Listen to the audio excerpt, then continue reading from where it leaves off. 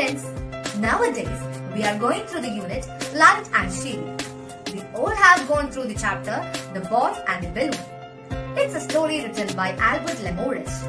It's a story about a boy and a balloon he got from a street. Can we have a chain reading from this chapter? Yes. So here, the 7th standard students are going to present a chain reading for you all. Let's evaluate the presentation. Come, let's go through it.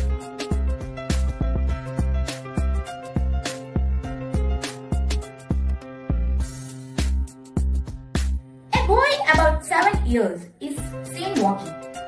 There is a dog on pavement.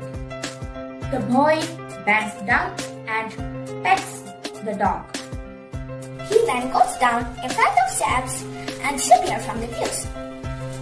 Now, the person is coming down the long flight of steps. Something catches his attention and he looks up. He stopped by a lamppost, looks up again, looks to the right and the left to make sure there is nobody around. He puts down the bag and quickly climbs the post. On the top of the post, caught in the rod that holds the lamp, is a big balloon. The boy frees it.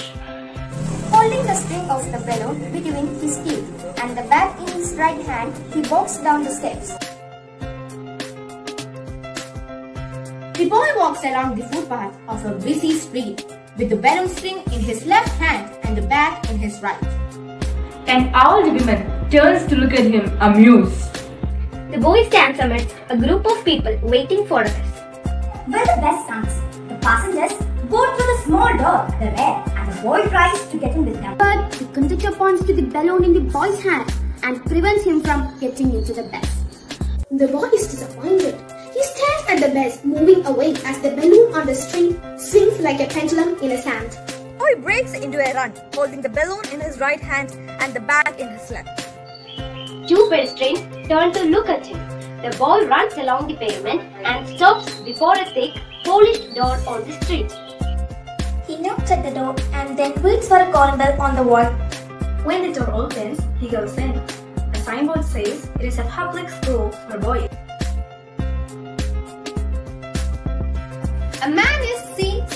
The yard, holding the balloon by the string. The boy walks up to him. The boy, could you hold my balloon? The sweeper obligingly takes the balloon and holds it. The boy, please don't let it go. He starts running towards his classroom. A teacher appears at the window on the upper floor of the building. He looks at the boy and the sweeper and jotts down something in his notebook. The boy runs towards the classroom. He pushes open the door and he goes in.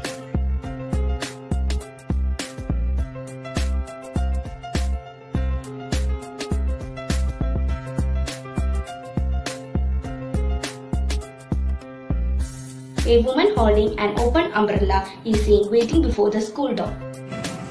The door opens and children rush out. One of the boys takes her hands and they walk away. The boy with the balloon comes out after a few moments and runs into the street. It's drizzling. The boy does not want the balloon to get wet. He sees an old man with an open umbrella held above his head. The boy runs after him and talks to him. The man allows the boy to share his umbrella. The umbrella is too small to shelter the three of them. So the boy moves out of the shade of the umbrella and holds the balloon under it.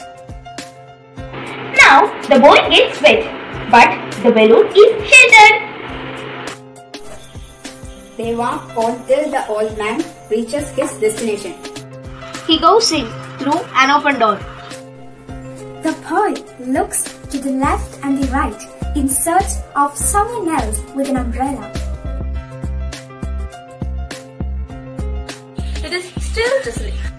The boy is seen running after a woman who has an umbrella with her. He reaches her, holds the balloon under her umbrella and walks with her. Then the boy walks up to two nuns with umbrellas.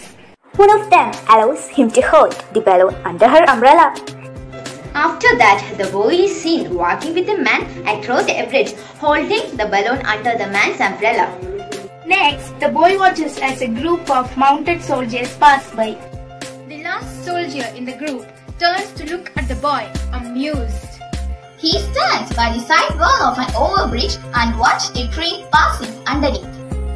The boy then runs away and disappears.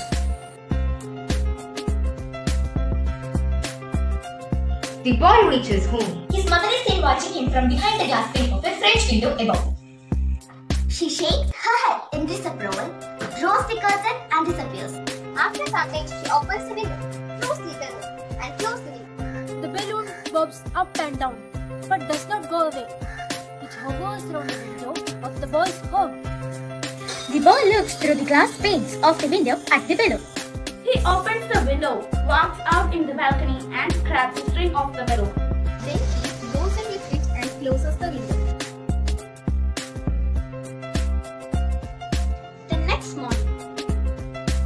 A shopkeeper opening the shutters of his shop, a postman delivering mail to a woman on a balcony, and a hawker selling his wares in the street are seen.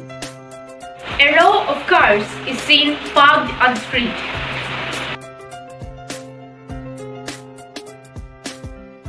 The boy opens the window of his house and releases the balloon into the air. The boy, balloon, you must obey me and be good. he points his finger at the balloon in a warning gesture and closes the window. The boy comes out. He is on his way to school. He looks up at the balloon hovering above.